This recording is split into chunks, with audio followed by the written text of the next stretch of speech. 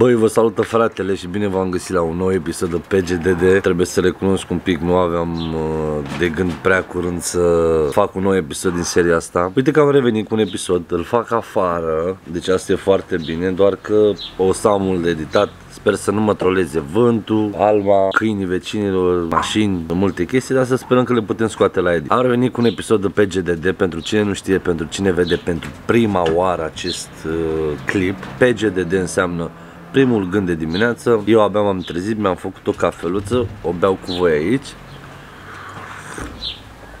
și vorbim exact ca dimineața. Știți că prima dată când te trezești ești un pic buimac și atunci le dai. Astăzi avem un subiect mai delicat, e ceva până ce am trecut eu, e ceva până, prin care nu mi-aș dori să treceți voi uh, și anume dependența mea de jocuri de noroc pe care am avut-o. O să vă explic cum a început, cum am la sfârșit, cum am, uh, i-am dat handle pe parcurs. Nu poți, uh, ai doar vreo două variante, ori o țin fră, ori te duci. Simplu. Da, despre viața mea în care e harababura în momentul de față, nu mai am ce să mai zic mă gândeam să mă gândeam să editez, nici nu decât nu mă gândeam să filmez, dar de ce nu? Dacă voi ați cerut, facem un episod, pentru că la cererea voastră episodul. Înainte să începem episodul, apăsați voi butonul de like, subscribe dacă ești nou, cu glopoțel ca să fii notificat când intru live, follow pe Instagram că mai trebuie 700 de urmăritori, follow pe Instagram acolo, la Gigosul Suprem și ce să zic, uite-te la tot clipul, pentru că s-ar putea să te ajute, chiar dacă îți dai seama sau nu îți dai seama. Și sper că observați că devin și eu plin de experiență și încep să mă uit numai în cameră, nu mă mai uit, de obicei mă uitam numai așa, numai cum mă văd eu. Dacă nu ai dat like la acest clip, ai 15 secunde la dispoziție. M-am uitat aseară la un clip de al lui Lospa, frate, cu Ciprian Tomescu sau ceva de gen. Man, Doamne, coaie, câte argumente a putut să dea omul ăla și Bă, eu n-aș face, dacă știu că aș fura ceva și cineva m-ar acuza, l-aș lăsa în pace, pur și simplu. Bun, haideți fără alte introduceri să-i dăm drumul la clip. Că nu știu ce, ce viteză o să aibă. Uh, dacă o să fiu incoerent puțin, tocmai aia e și ideea că de-aia filmez dimineața, de-aia e primul gând de dimineață, ca să am și o scuză dacă sunt incoerent. Exact, exact începutul uh, carierei de jucător profesionist, nu o știu. Uh, știu că unde am copilărit eu acolo, eram, eram mai mulți, eram mai mulți puștani. Eram, o să dau și nume, că nu se supără. Eram eu, Alică, eu, Alică, Chioru, Șchiopu, Dani, frasul Șchiopu, Moșulanu, frasul Chioru,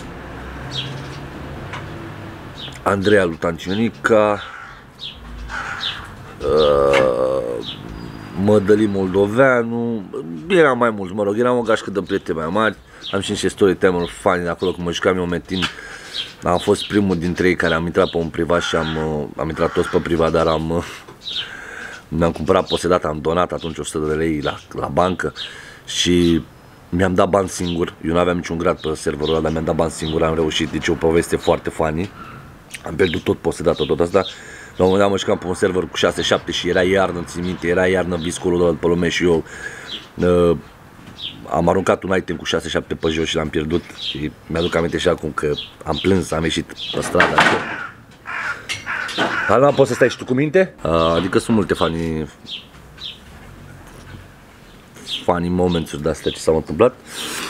Bun, fiind în, uh, în, uh, în gașca asta, că eram mai mulți oameni care am copilărit, am crescut, am, uh, ieșeam împreună, stăteam la colț uh, și păcănelele nu prea știam noi de păcănelele clasice, sloturile, jocurile de noroc, nu prea știam noi de ele, decât de la ăsta, cum zice, era un, un aprozar în capătul la Maxi Taxi în Pantelimon, în comuna Pantelimon, oraș actual, cine știe, în capătul la 547 era se zicea la fermă, în fermă. Și aveau, aveau un magazin de ăsta non-stop și cu aparate care mai stăteau până la 4-5 dimineața, 3 dimineața, depinde cine era la ele. Prea știam acolo noi ce se întâmplă, adică mergeam, vedeam, știam o mare parte despre ce e vorba că sunt aparate, dar nu prea conștientizam și nu, nu știu, nu aveam noi să, să ne jucăm. Adică nu a pornit ceva să, bă, hai să ne jucăm și la aparate. Bun, și stând în anturajul ăsta la colț acolo, avem și noi câțiva mai băieți mai mari, uh, frații, ar, frații unora dintre noi, bine, nu ai mei, că eu nu am frați, uh, din grupul nostru, altul un băiat care stătea pe lângă noi pe acolo pe străzi și mai ieșea și cu noi că el muncea și să jucau la aparate. Și din curiozitate așa, după ceva timp, am mers și noi, că exact, exact prima dată când m-am dus la sloturi, nu am știu. Am mers și noi la la sloturi cu ei în fermă. Atunci nu era aia că dacă n-ai 18 ani și astea, dar era un matur, putea să intre 10 copii cu el.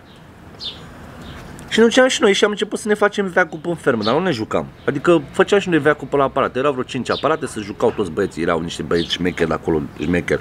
Așa consideram noi atunci la momentul ăla actual, la momentul, la momentul ăla. Uh, și ne duceam și noi și stăteam pe acolo. Și la un moment dat știu că am jucat primii 10 lei din dorința de a face 20 de lei. Că toată lumea de asta să joacă. Bagi un ban să-l dublezi, să-l triplezi, să faci mai mult. Bani ușor făcuți. Bă, și am băgat și noi, mă rog, eu am băgat mai mult atunci, am băgat și eu 10 lei. Și m-am jucat la un joc uh, cu Phoenix, uh, vulturii. Când îți dădea vulturii pe, pe 10 erau 30 de lei. Și știu că noi dădeam dublaj, erau de alea cu gen, dădeai roșie, deci a, îți dădea un leu, dădeai roșie, îți dădea un leu jumate. Dădeai roșie și o ghicei, îți dădea 2 lei. Dădeai neagră și o pierdeai, gen, nu te pierdea toți banii, era un leu jumate. Adică o carte bună te ridica sau te cobora, era pe, pe, pe piramidă, gen. Și ne-am jucat pur și simplu la început, băgam 10 lei, scuteam 30 de lei, era totul bine, plecam. Adică a, asta era chestia la început, plecam. Ne jucam 10 lei, 20 de lei și plecam. După ce ne-am jucat ceva timp, așa, dar eram foarte fraged, adică cred că aveam vreo 16, 15, 16 ani maxim, eu, la care respectiv erau și copii mai mici în, în grupul nostru, aveau 13-14 ani. Alma aveau 13-14 ani, adică super mici. Bun, la un moment dat, văzând că tot bag 10 lei scot 30 de lei, am zis, bă, stai un pic, să scot 60 de lei, adică bag 20 de lei, scot 60 de lei. Bineînțeles, a mers, că la, la început toată lumea câștigă, sau nu realizezi dacă pierzi neapărat. Am băgat, am scos, am băgat, am scos și apoi m-am îndrăgostit de un joc numit poker. Dar nu pokerul poker. Uh, pokerul uh, uh, dacă și spălat de la aparate. Dă, îți dă trei bucăți, două perechi, full și dai cărți și îl închizi la o sumă, la 50 de lei. Mă jucam pe 10 și îl închideam la 50 de lei atunci sau un milion dacă era, mă rog, vechi bani. 500 de mii și un milion. Bă, și îmi făcea o plăcere așa de mare pentru că vedeam că e un challenge oamenii care stăteau în spatele meu erau bine patra, bine patra, mie mi se așa patraule atunci, în cercul meu de prieteni și acum mă știu, mă știu toți de patraule. Asta a fost porecla mea de când eram eu mic. Bă, și văzând mini-galeria din spatele meu, gen, bă, îmi plăcea foarte mult să mă joc. A fost o, o perioadă foarte lungă de timp în care m-am jucat pe 70 miza, 70 de bani, adică nici măcar un leu. Pentru că dădeai 3 cărți, 4 cărți maxim la 50 de lei să-l închizi. În schimb, pe 10, pe 20, pe 50, dădeai 5-6 cărți. Și mi s-a părut mie mai ok.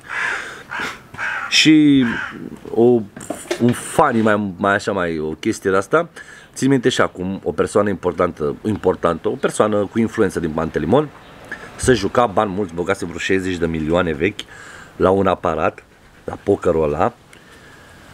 Uh, și plecase acasă, eu nu știam treaba asta.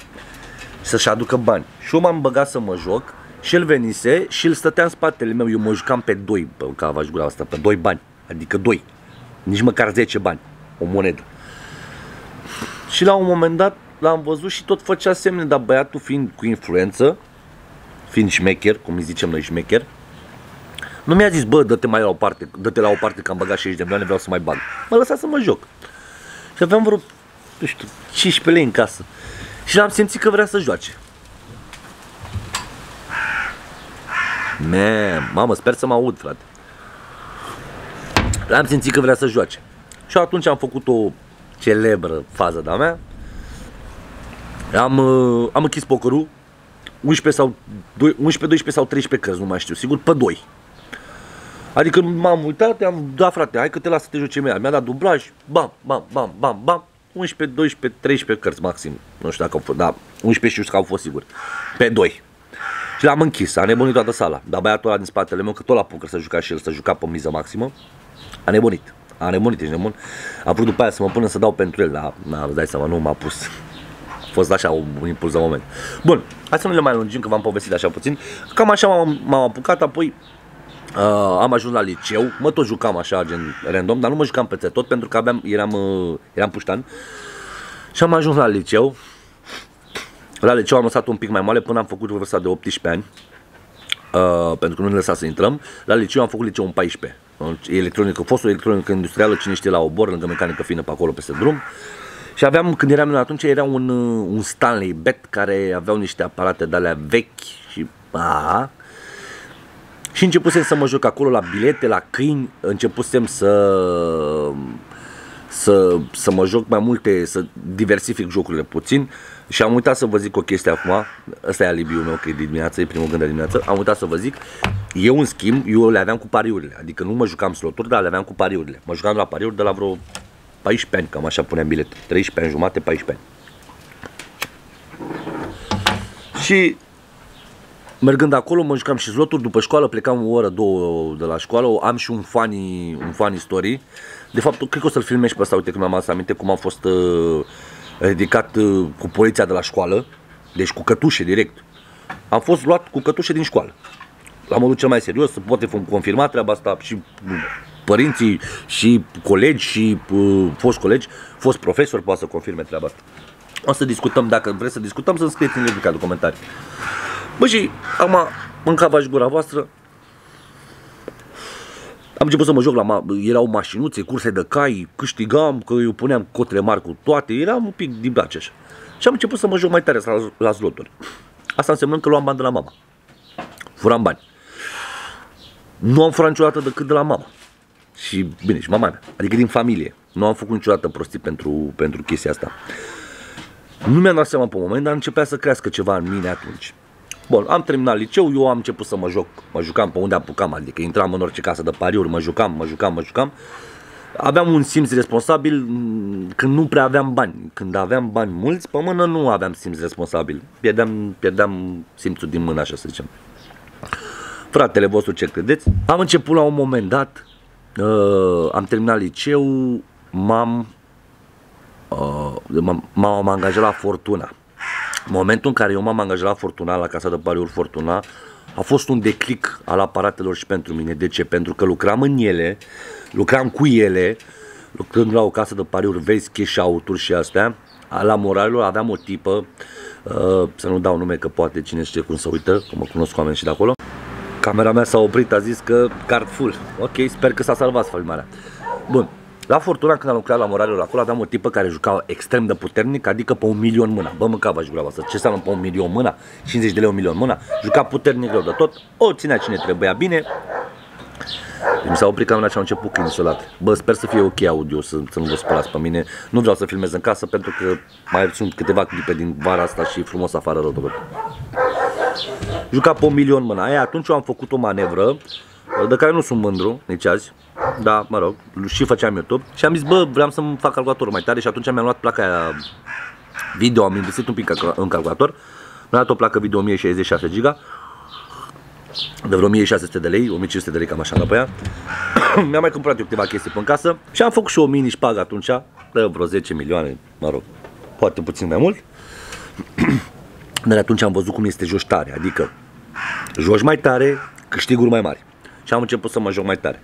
Și am ajuns la apogeul meu, în care momentul uh, la Fortuna, am avut unele momente, de-aia m-am și mutat în agenții, pentru că eu mă jucam în timpul programului, adică ieșeam la țigară sau dacă eram la dublaj, mă duceam lângă, că de obicei era Fortuna de Superbet sau Stanley sau Casa Pariurilor, mă duceam și jucam și eu. Dar niciodată nu m-am jucat banii din casă de la pariuri, m-am jucat mereu banii mei. banii mei întotdeauna care știam că pot să-i pun înapoi. Am fost responsabil și cu treaba asta, chiar dacă e responsabil că mă jucam în timpul programului, dar la Fortuna, mamă, căței, la Fortuna s-a întâmplat treaba asta, declicul meu, apogeul, Apoi, în, în momentul în care, de-aia și eu apreciez pe Oana foarte mult, sunt sincer și zic treburile astea, eu când m-am, m-am mutat cu Oana, și înainte să mă mut cu Oana cu vreo 3-4 luni, am avut uh, o serie de, de luni în care eu îmi pierdeam salariul. Ha, mă căței. Alma, să nu te apuci. Uh, am avut o serie de luni în care, gen luni consecutive, în care eu îmi pierdeam salariul. Adică, Alma, Alma, gata. Vezi?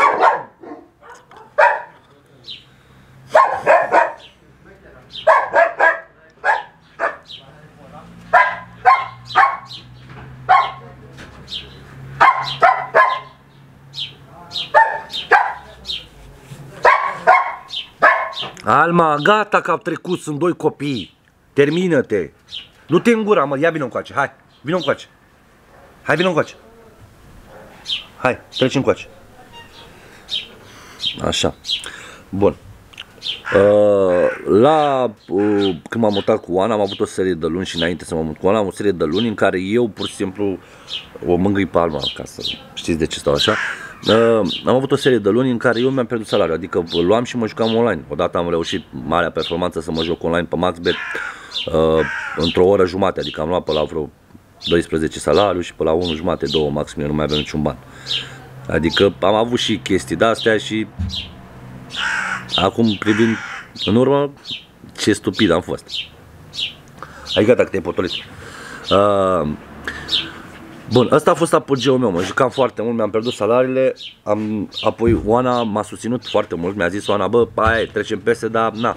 Oana n-a fost niciodată om, genul de om care să spună, Uh, Alex, da, ne despărțim dacă faci treaba asta. Știu că e rău pentru mine, dar m-a lăsat să mă dau cu capul de sus, cum se întâmplă și în momentul de față cu YouTube-ul. Oana mă ajută, Oana îmi spune, bă, vezi că la nu e prietenul tău, la n-are intenție bună, ai grijă la ăla, ai grijă la ăla, vezi că o să vină oameni la tine, dar tu trebuie să alegi și mă lasă să aleg eu. Asta apreciez foarte mult la Oana, că mă lasă să mă dau cu capul de sus ca să mă lovesc. Și a fost dup- lângă mine. A fost vreo 3 luni, cred că, cam așa. Am zis, bă, stai un pic, că nu e ok. Chiar nu e ok să mă să se întâmple treaba asta. Și am încercat și o diferite variante să mă las, adică m-am enervat prima oară că așa pleacă toată... Ia steam așa, mă duc și pierd salariul, doule, în gura măsii de aparate, nu mai N-a mers, bineînțeles. Uh, am vrut să mă duc și la biserică, nu m-am dus.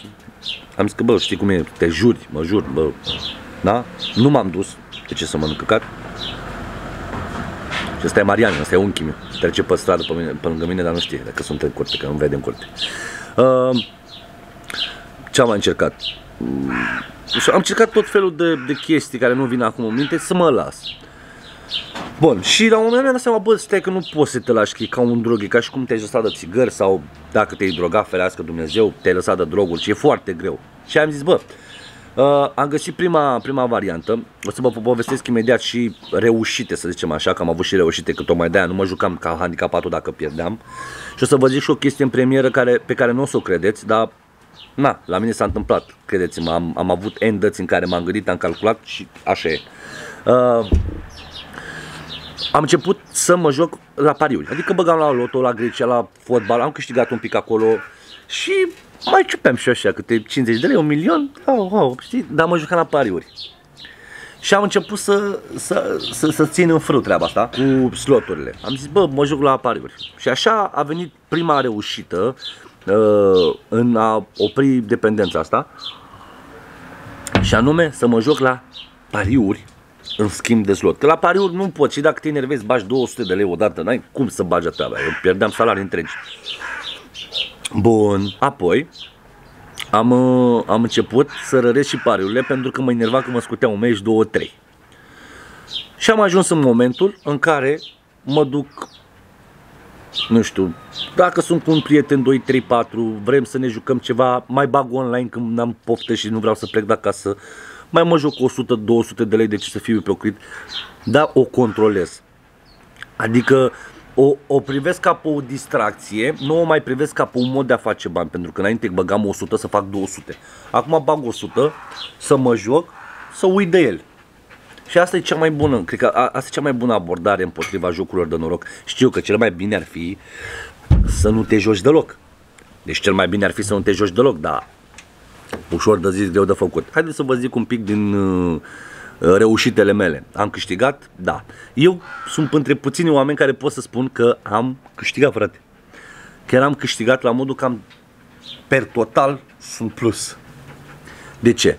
Am câștigat o 18.000 de lei în uh, retail, adică în, în, în casino, de-a lungul timpului, nu știu să vă dau exact uh, momentele, am câștigat 180 de milioane vechi, mi-a dat aproape tablou de șeptari, la 40 Burning Hot.